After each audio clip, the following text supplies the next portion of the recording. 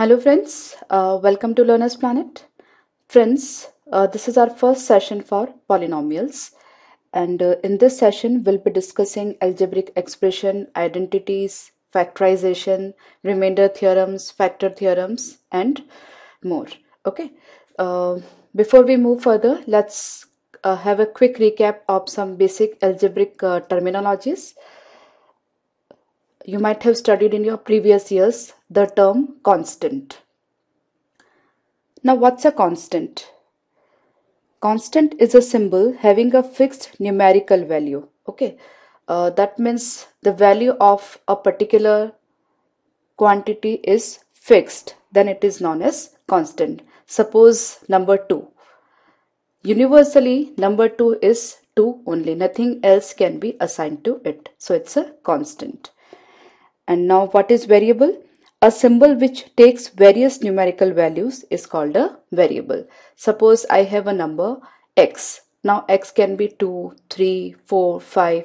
It can be any negative number that is minus 1, minus 2 or it can be any fractions say 2 by 3, 4 by 5. So we can assign different values to x. So it's a variable. So uh, I hope you are clear with the difference of constant and variable. Now let's uh, uh, recap the uh, term algebraic expression.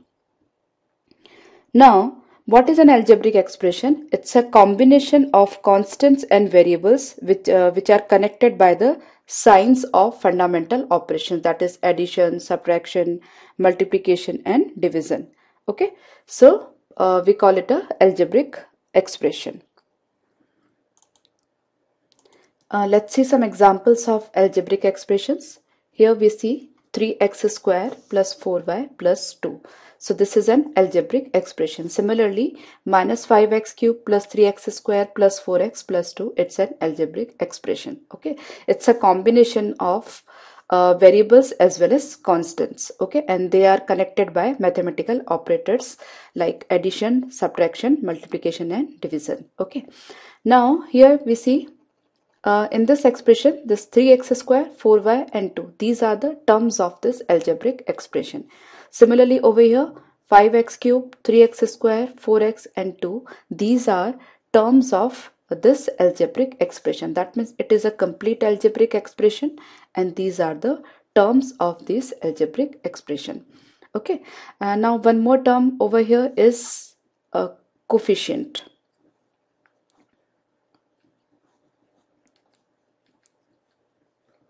Now what is a coefficient? Here uh, we see 3x square. Here 3 is a constant and x is a variable. Now coefficient is what? Here suppose we uh, whatever is being multiplied to that particular variable. So here 3 is multiplied to x square. That means 3 is the coefficient of x square. Okay. Uh, similarly coefficient of y is 4 and 2 is the constant term. Uh, just see over here. The coefficient of x cube is minus 5 coefficient of x square is 3 coefficient of x is 4 and 2 is the constant term. Okay so I hope you are clear with the basic terminologies of algebraic expressions uh, and uh, definitely you have already done uh, these terminologies in your previous classes. So now let's begin with the next. Uh, what's a polynomial?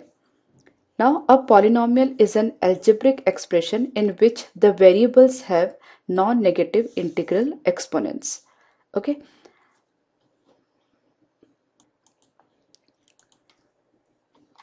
Here we see the example of polynomial that is 3x square plus 4y plus 2. Here variable is carrying a positive power isn't it? X is carrying square. Similarly y is having power as 1 and 2 is having power uh, i'm sorry the uh, here the variable is having the power as 0 okay? So the variable should have the powers as non-negative integral values okay so it's maybe 0, 1, 2, 3 to any number. Okay. Similarly over here, uh, it's minus 5x cube x is having power s3 here x is having power s2 here x is having power s1 and here x is having power as 0 or we can say exponent is 0. So these are the examples of polynomials. Suppose I have an expression x raised to minus 3 plus 5x square minus 3y plus 1 by 2. Uh, friends, we cannot say this expression as a polynomial because in this case x is having the power as minus 3 but in case of polynomials the variable should carry the power as positive or we can say non-negative integral values. Okay?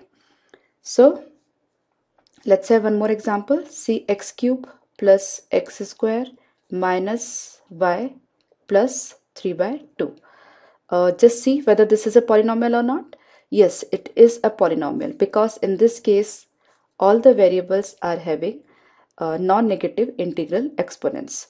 Doesn't matter if a constant is a fraction okay? It can be a fraction or it can be an irrational number also. Okay?